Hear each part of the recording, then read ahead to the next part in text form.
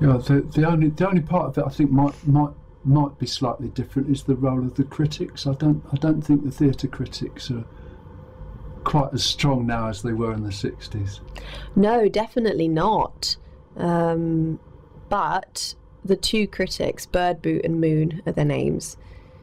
The the actual script writing for them and the character building is so brilliant. Birdboot and Moon as characters are incredibly powerful. Um, the actors, any actor could play them, but to play them well, I think takes a lot of skill. So Christian, who plays Birdboot, and Chris, who plays Moon, which hasn't been confusing at all when we're talking to them, Christian and Chris, um, they do such a brilliant job of bringing them to life. We've to include them in the play. I think without them, the play can't run. Without those two characters, the play can't run. They are absolutely integral. They're the two main characters. For reasons which will be revealed Yes.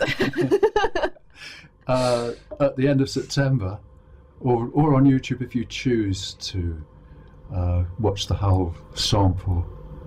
Um, but perhaps I, uh, perhaps that I think we've explained it enough. Are there, are there other things you'd like to say about it?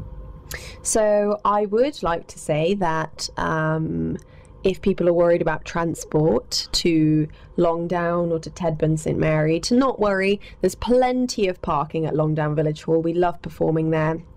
There's pasties available in the interval. There's going to be a little raffle if you like if you like to be a bit of a gambler yourself and like a raffle. Um, tickets are nine pounds from our website